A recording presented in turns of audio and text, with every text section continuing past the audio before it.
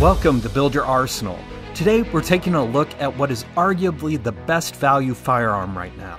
If you're Pro 2A, like, comment, subscribe, and share this video to help beat YouTube's algorithms. I had another version of this video that YouTube demonetized, so I'm going to have to be creative in getting my point across to you in this video.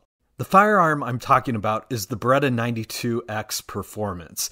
The 92X Performance was created to satisfy two requirements speed and accuracy.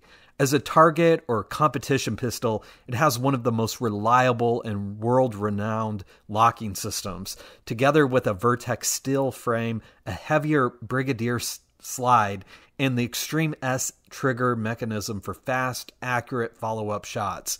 The model I'm referencing is the J92X R21 with an MSRP of 1630. This is now considered a legacy model and is no longer in production because of the new Carry Optics version and the 92X Performance Defensive. This has always been an outstanding pistol, but with a $1,500 price tag, it's usually out of reach or just hard to justify versus a Langdon Tactical Technologies Elite or a Wilson Combat Brigadier or Centurion. Uh, which is just another reminder that there are a lot of great options out there for the 92.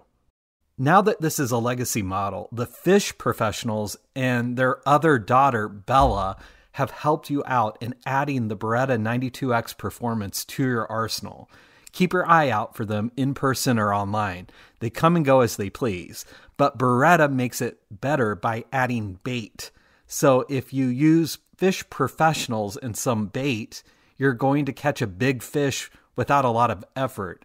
In other words, these are going for a thousand fishes for an outstanding pew pew.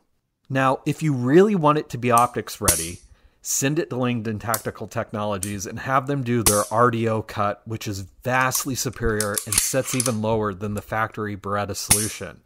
You're still coming in under the original price of the 92X Performance. The Beretta 92X Performance is something you don't want to miss out on.